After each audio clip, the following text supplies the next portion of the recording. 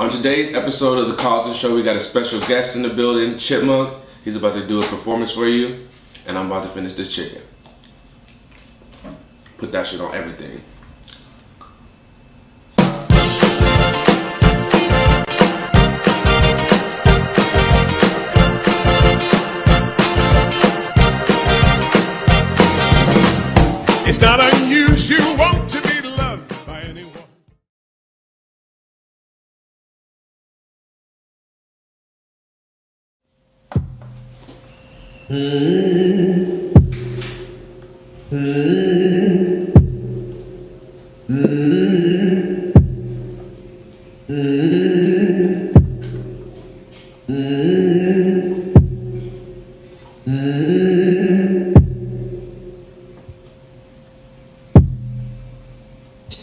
Yo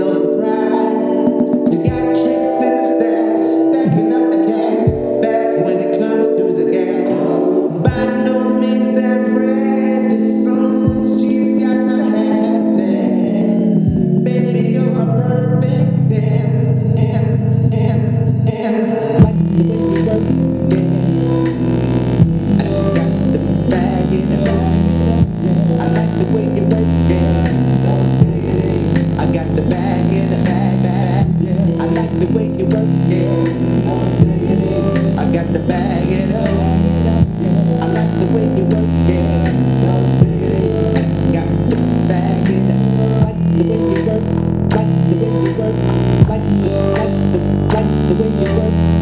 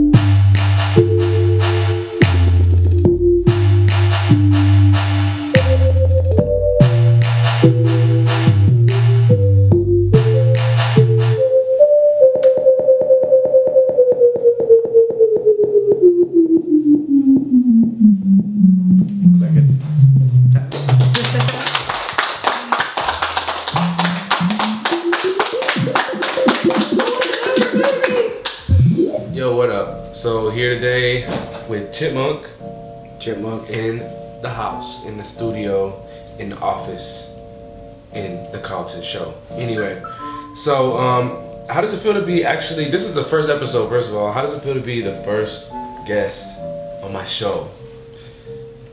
Feels, uh, I guess I'm honored. I'm honored I didn't know about the show.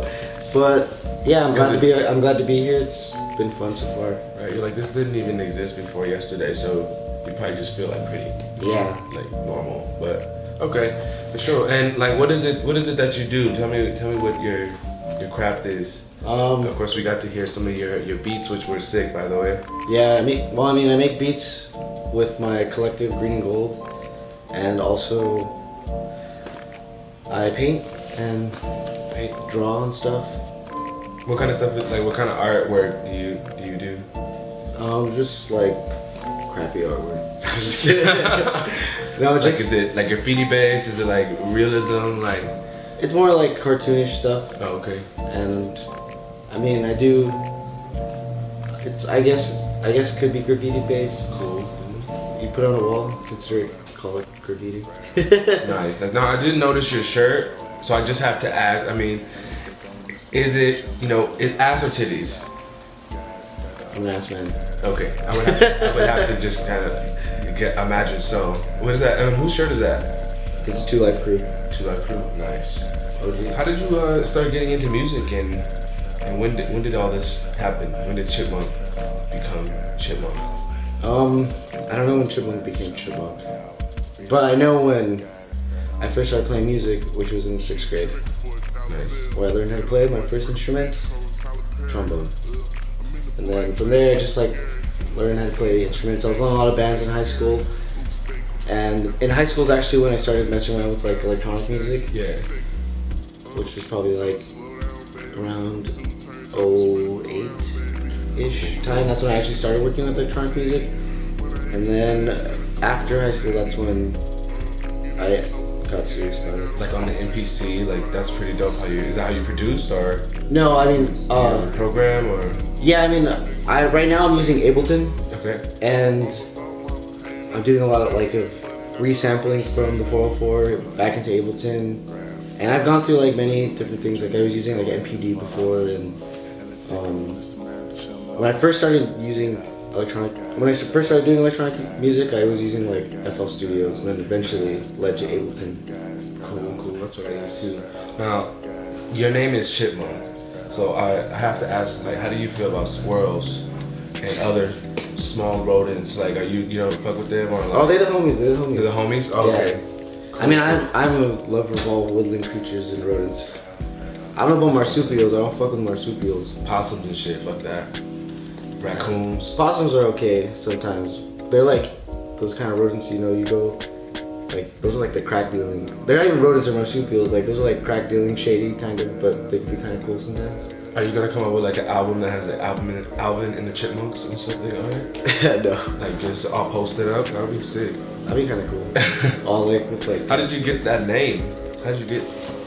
Well, I mean, the name Chip Monk comes from high school. It was like a. I had many nicknames in high school, and that's just one nickname that was like because I used to be like super skinny, but I've always had like big cheeks. And uh, when I started growing facial hair, it only grew in like tiny patches. Okay. So my friends just called me Chip Monk. it's stuck. It's stuck. That works. All right, that's cool. Tell me, um, tell me about your your collective that you mentioned earlier, the uh, Green Gold. oh, green and gold. Yeah, there's. Um, Yeah. as according to OCD, that's what they said. They couldn't count. Okay. but yeah, I mean, we're all we're all uh, beat makers or musicians of some sort, and you know, some of them are artists too.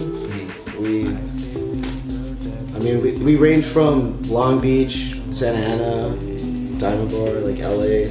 We're all around. Cool, cool.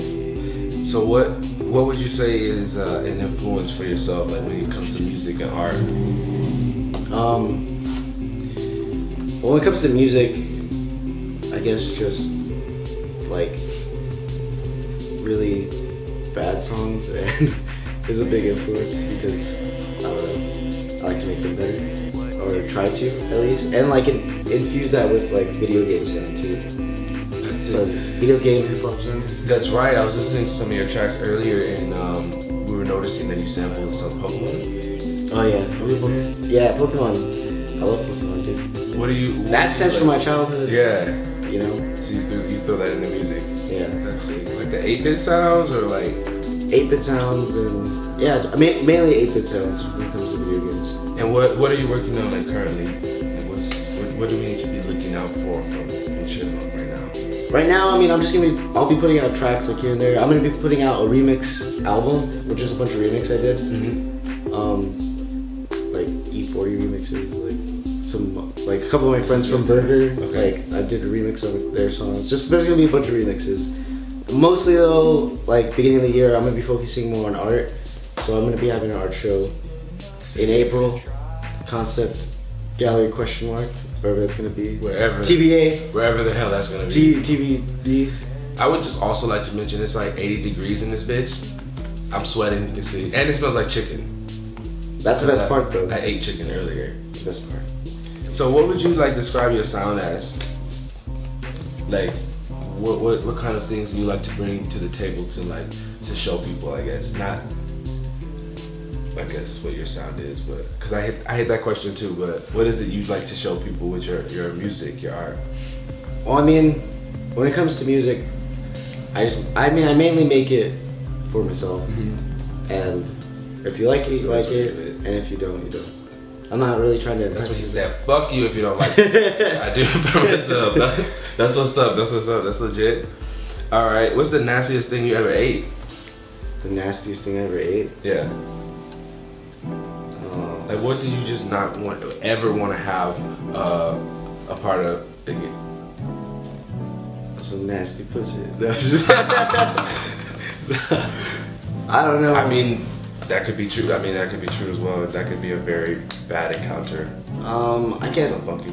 some nasty shit that I ate. I can tell you the nastiest thing I drink. Like, That that counts. We'll take that. okay, so like, I was like getting like these beers that people weren't drinking. I'll never do that again. Dude, you can get roofied that way. That's fucking. It was at my house. It was at my house. I was all pissed off. Like, the fuck, you guys aren't even finishing these beers. Shit's almost two. We can't get more of it. So I was just drinking them, and then so, there was a full beer, and I'm like, "Are you fucking kidding me? You guys have a full beer right here?" And I drink it. and There's a cigarette inside of it. Oh, nasty. Damn, cigarette beer. Yeah. Okay. That was disgusting. Well, yeah, and it's, that's dangerous too. You could definitely somebody trying to come up on you, you can get roofied. It's happened to Tyson before. I have to put roofies in my drinks in order to get drunk. So. Hey, turn up, right? Okay. Uh, for being a special guest today, wait, is actually there anything else you want to say to the world, to the camera, on the Karlton Show? Fuck bitches get money. Fuck midgets get money. For coming on the show today, we do have a special gift from our sponsor, FS Clothing. FS Clothing. Yes, sir, and I'm, I'm rocking it too. You take out take out the goodies, show the world what you received on today's show. Dang. I'm jealous. I don't even get anything, and I'm hosting the show. Like, where's my where's my goodie bag? I got a hat. I'm already wearing it.